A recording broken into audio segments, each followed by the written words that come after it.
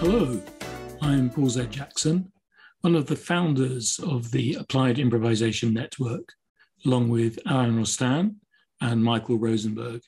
The three of us met at a conference for trainers and facilitators in Orlando, Florida in January 2001. We were all workshop presenters at this International Alliance for Learning conference. Alain's session was called Unleashing Group Genius Through Improv Theatre Techniques, and mine was Ways to Improvise in Training. The Americans always had that edge in marketing pizzazz. We'd also been asked to perform an improv show as the Friday night entertainment. This went well, and we bonded further in the bar after the show and wondered how many other people might have had this idea of applying improvisation concepts beyond the theatre. We were trainers and consultants by background, and actually much keener on learning and workshops than we were on performing.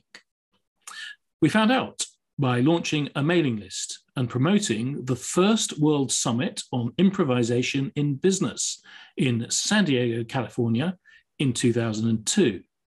That event was a strand within NASAGA, the North American Simulation and Gaming Association conference.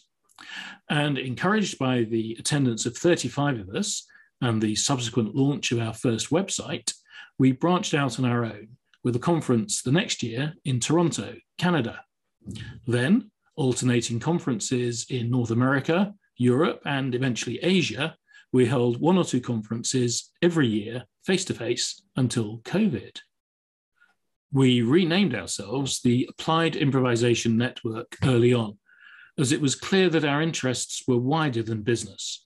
We covered education, health, well-being and personal development, the charity and humanitarian sectors, and the reapplication of improvisation into the arts too. What we heard at the very first event and have heard at every conference since is this. I thought I was the only person doing this. Now I've found my tribe. And the tribe has grown. We had more than 300 participants at our largest conference so far in Stony Brook, New York in 2019.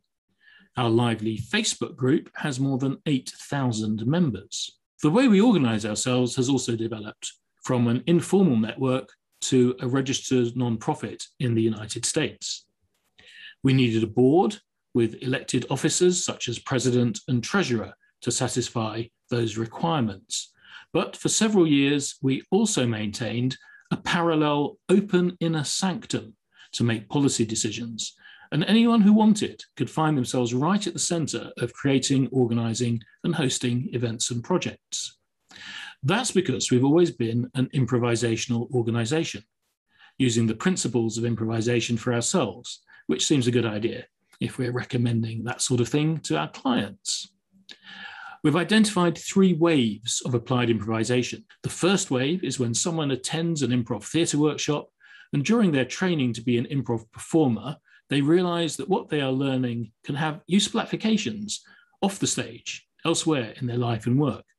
It's then entirely up to them what they do with that. The second wave consists of workshops and trainings in which the topics might be presentations, communication skills, ideation and creativity, leadership, and many, many more. And you learn improvisation skills like staying focused, accepting and building, status moves, holding your ideas lightly when working with others, as core elements of those advertised outcomes. In the second wave, theatre gets stripped out, so there's no stagecraft, no separation into performers and audience, and no playing of characters or roles other than yourself. And there's an emphasis through discussion and debriefing on how to apply the learnings in the relevant contexts. In the third wave, we explore improvisation as a valid and central topic in itself, featuring in everyone's life as they live more in the moment, adapt better to change, and find more effective ways to collaborate under pressure. It pops up beyond workshops in improvisational events, such as The Quest, in coaching, in personal development, in how facilitators facilitate well, generally in sustaining a playful and experimental attitude through life's events. The third wave manifests in open space style conferences and in improvisational organizations like the AIN. In the Applied Improvisational Network, you'll notice minimal hierarchies, for example, in treating and charging all conference attendees as participants rather than separating them into presenters and delegates. To be a certified practitioner in AIN, you have to demonstrate contribution to the community as well as having a working connection with applied improvisation.